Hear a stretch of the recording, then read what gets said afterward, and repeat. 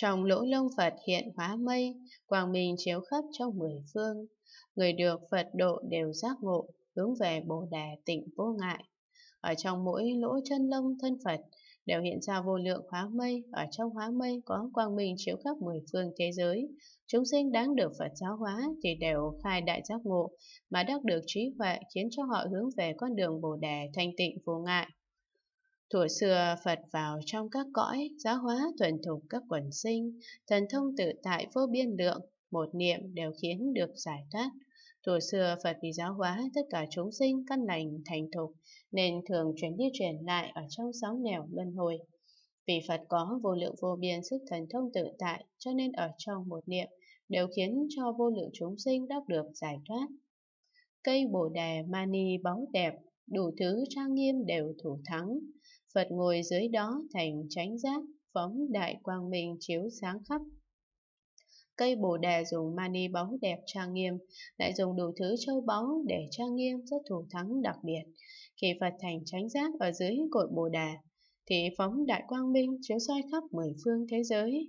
Đại âm chấn hống khắp mười phương, khắp vị tuyên dương pháp tịch diệt, tùy tâm ưa thích của chúng sinh, đủ thứ phương tiện khiến khai ngộ, Âm thanh của Phật lớn như tiếng chấn hống vang khắp mười phương thế giới, các vị tất cả chúng sinh hoàng dương tên nói pháp tịch diệt niết bàn, tùy thuận sở thích trong tâm chúng sinh mà dùng đủ thứ pháp môn phương tiện khiến cho chúng sinh khai ngộ, đắc được trí huệ.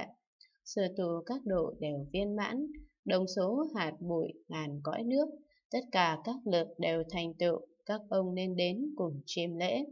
Thuở xưa phải tu các pháp môn, đến bờ kia đều tu hành viên mãn, pháp môn tù đến bờ bên kia, nhiều như số hạt bụi ngàn cõi nước, hết thảy mười lực của Phật đều đã hoàn toàn thành tựu.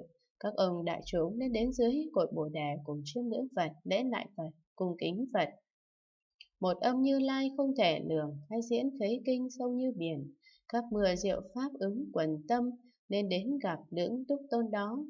Phật dùng một âm diễn nói pháp, chúng sinh tùy loài đều hiểu rõ, một âm tán làm vô lượng âm, vô lượng âm vang ra từ một âm, dòng vô lượng chúng sinh đều hiểu được. Phật dễ nói diệu nghĩa của kinh điển, diệu nghĩa đó sâu như biển cả, các mưa diệu pháp tùy theo tâm nguyện của chúng sinh. Đức Phật đã thành đấng lưỡng túc tôn, các ngài thánh hiền chúng nên đến gặp Phật, chính là đúng thời cơ, đừng bỏ qua cơ hội. Ba đời chư Phật hết thảy nguyện, dưới cội bồ đề đều tuyên nói, trong một sát na đều hiện tiền. Ông hãy mau đến chỗ như lai, ba đời tất cả chư Phật phát ra đủ thứ biển đại nguyện, Phật ở dưới cội bồ đề đều tuyên nói ra hết, khiến cho chúng sinh biết được những lời nguyện của Phật phát ra là nguyện thành Phật. Trong một sát na diễn nói, hiện hiện ra biển đại nguyện. Các vị đại chúng hãy mau đến dưới cội bồ đề, nghe Phật nói diệu pháp. Phật đời quá khứ là Phật đã thành, Phật đời hiện tại là Phật hiện đang thành, Phật đời vị lai là Phật sẽ thành. Phật vị lai là chúng sinh hiện tại, chúng sinh hiện tại là Phật vị lai, nhất là những người hiện tại tu hành thì nhất định là Phật vị lai vì bạn đang tu Pháp thành Phật.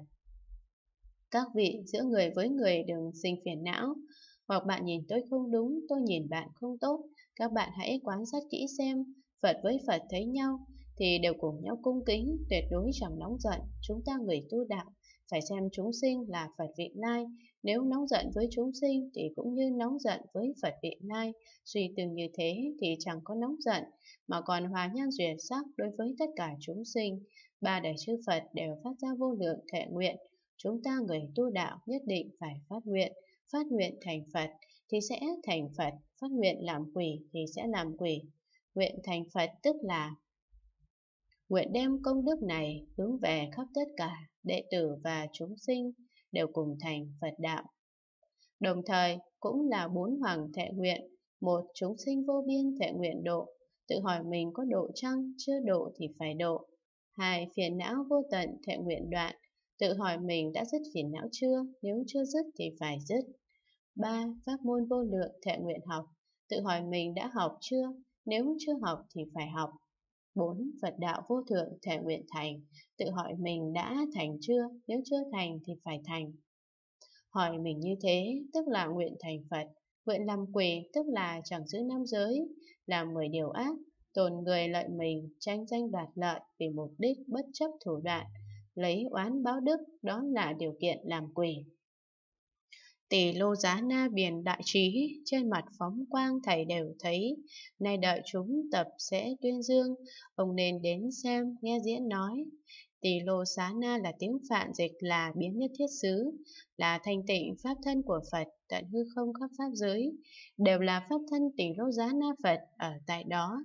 Trí huệ của Ngài như biển cả, hiện tại trên mặt của Ngài phóng ra hào quang vạn trượng, chẳng có nơi nào mà nhìn chẳng thấy. Ngài đang đợi tất cả chúng hội Bồ Tát tụ tập sẽ tuyển dường pháp âm vi diệu vô thượng. Các ông hãy cùng nhau đến chiêm ngưỡng và nghe diệu pháp của Ngài nói.